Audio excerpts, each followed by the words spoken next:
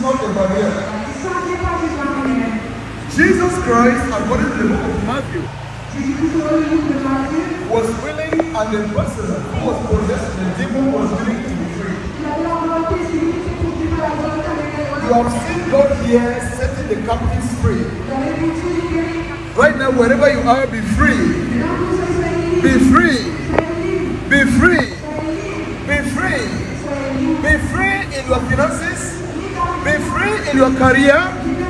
Be free in your marriage. Be free. Be free. Be free. Be free. Anointing cannot be limited by time and space. As you have witnessed it happen here, it will happen where you are.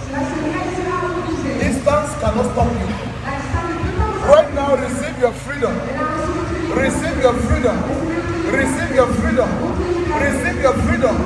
In your career, freedom. In your marriage, freedom. Freedom. Freedom. Freedom. Freedom!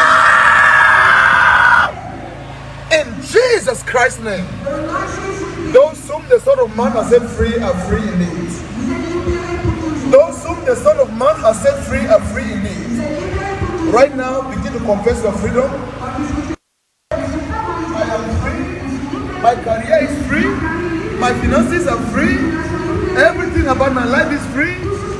Jesus Christ has set me free. In Jesus Christ's name.